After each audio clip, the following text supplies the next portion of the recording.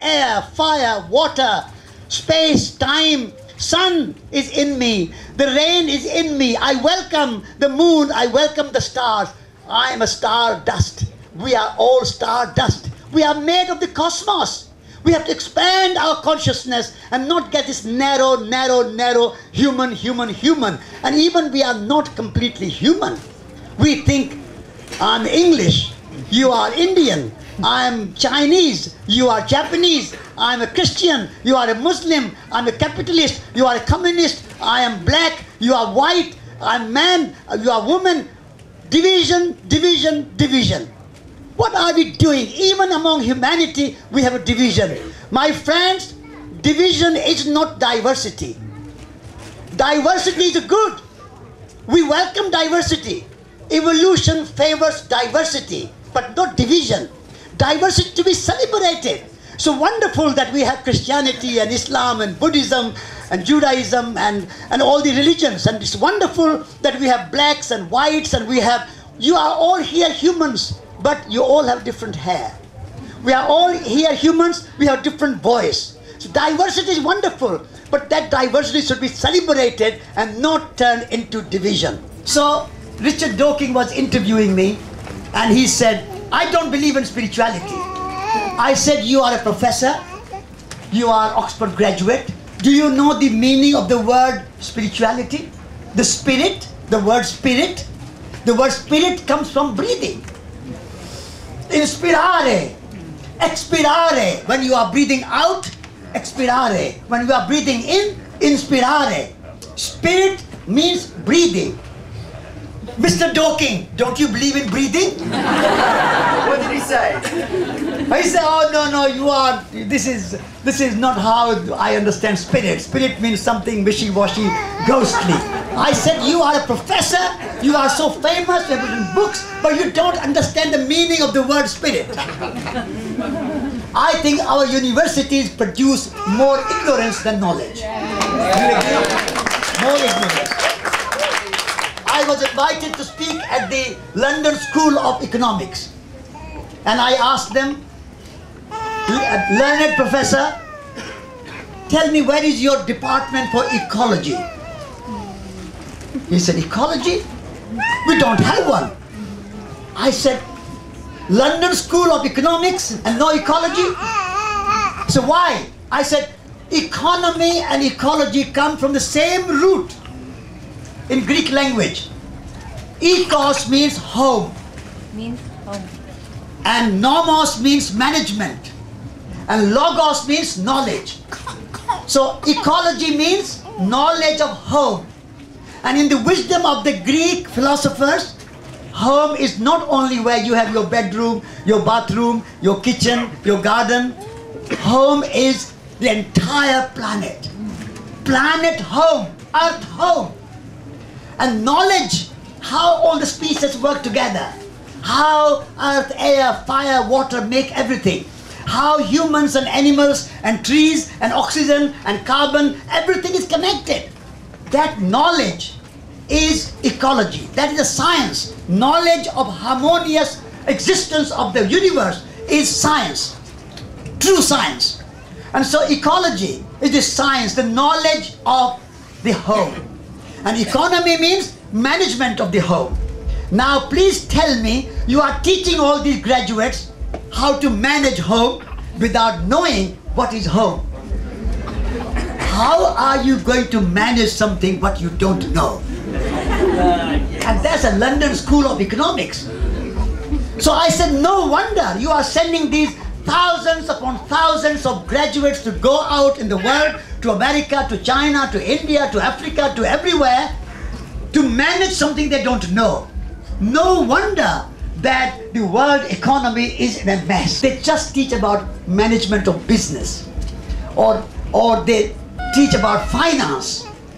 Now I say money and finance is only a figure on the computer. We have got this economic crisis in England, in Britain. We've got European crisis, Eurozone crisis, debt in Greece, in Italy, in Spain. What is this crisis? They say economic crisis. This is crisis of figures on the computer. Figures on the computer. And they are all, they have forgotten how to count money.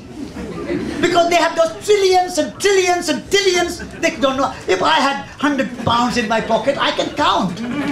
But if I have trillions of dollars in, or pounds in my pocket, I can't count. So please, if you want to solve the economic problem, the debt problem, bring your problem to trillions to hundreds, hundreds of pounds or hundreds of dollars. That will be better. Make one pound more valuable. So you can buy this marquee, this uh, this um, tent in one pound, or you can buy food for one pound. It's, money is only a means of exchange. It's not real wealth. Wealth is air, clean water, food, creativity, imagination, human skill, arts, crafts, music, poetry, families, our hands. That is real wealth. Money is not wealth.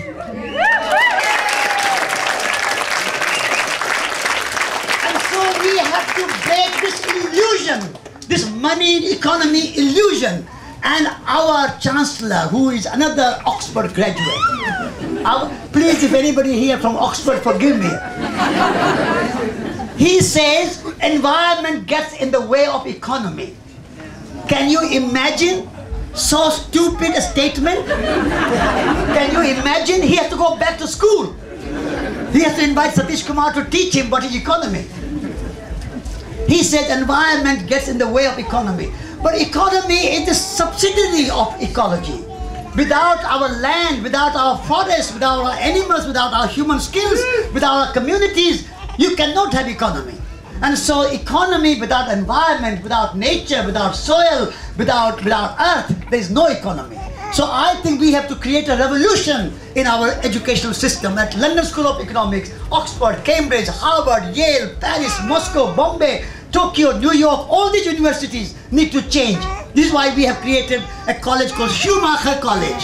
If you want to learn holistic economics, come to Schumacher College. And so, soul, when I take to soul, soul is to put soul in our lives. We are not just body. Body without soul is only good for coffee. Soul is the quality of compassion. Soul is the quality of love. The soul is the quality of relationship and, and that empathy and quality of relationship. And now we are forgetting, we think, oh, I'm just body. But you have something deeper than body. You have something profounder than body. You have something more important which you don't realize. You say, oh, I'm nothing, I can't do this, I can't do that. You are a very special being. Every one of you are a unique being. Every one of you is a potential Gandhi, a potential Buddha, a potential Mother Teresa, a potential Aung San Suu Kyi. Long live Aung San Suu Kyi.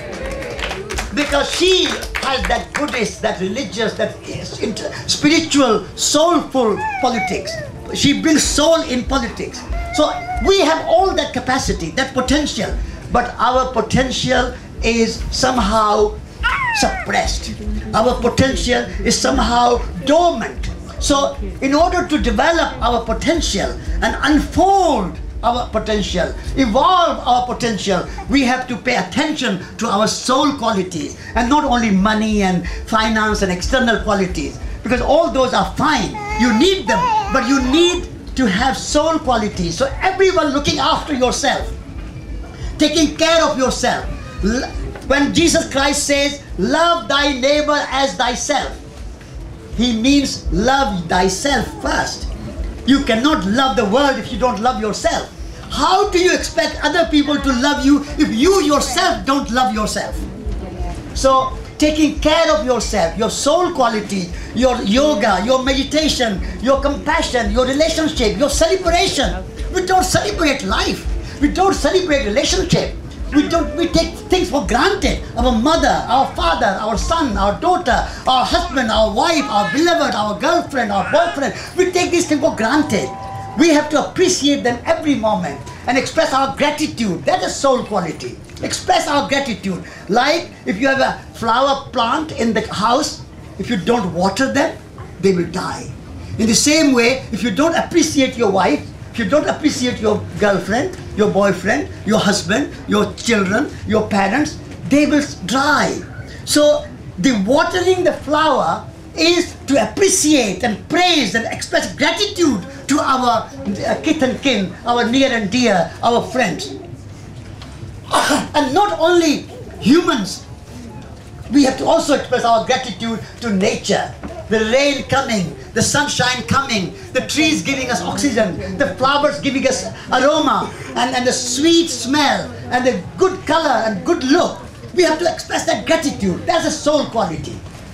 So if we have our relationship with the soil and we take care of our soul, then we also need to care, take care of our society. Uh, we are a human community. And as I said in the beginning, we human communities are for ages and ages and ages, we have been at, at each other's throats. Now there's a war in Iraq, there's a war in Afghanistan, there's a war in Syria, there's a war in Israel, Palestine, there's a war in Kashmir. We are spending billions and billions of dollars and pounds and yens and euros on wars when there are millions of people going without food.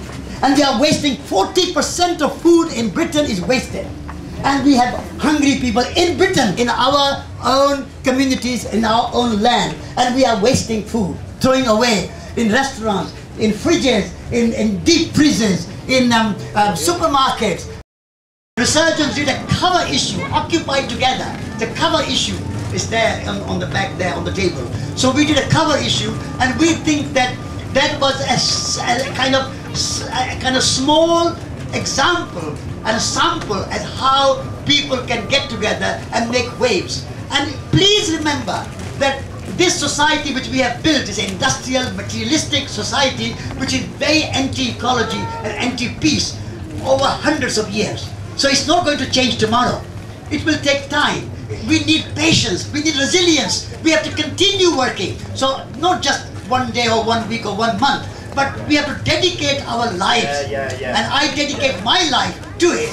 But I'm now getting old, but you are the young here. So dedicate your life to create a better world. A better world is possible.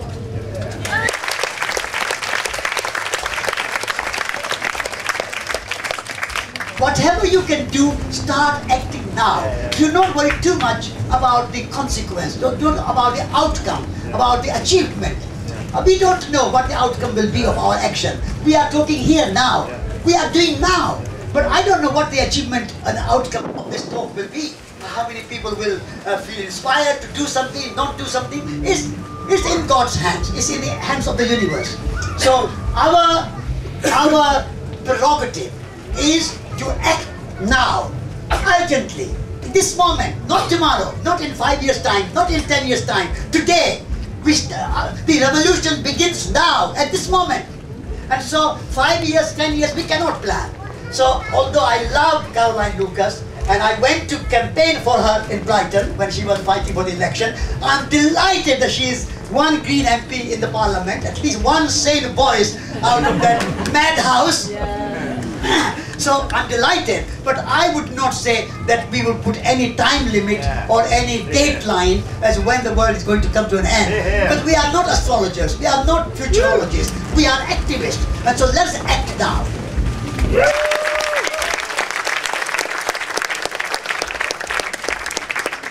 I started one school called the Small School in Hartland, and I said to children, we are not going to teach you Darwin and Shakespeare until you learn how to cook your lunch. Because what is good of learning about Darwin and Shakespeare and, and all the other great things and uh, uh, academic knowledge and you don't know how to grow food? So I said, the kitchen is also your classroom. Learn to appreciate the food and where the food is coming from. Let's have a garden. So we created a garden in the small school. So people can see, children can experience that you plant one seed in the ground and that comes out. And a whole plant comes out of that tiny tiny have you seen tomato seed? How small is it? Very very small.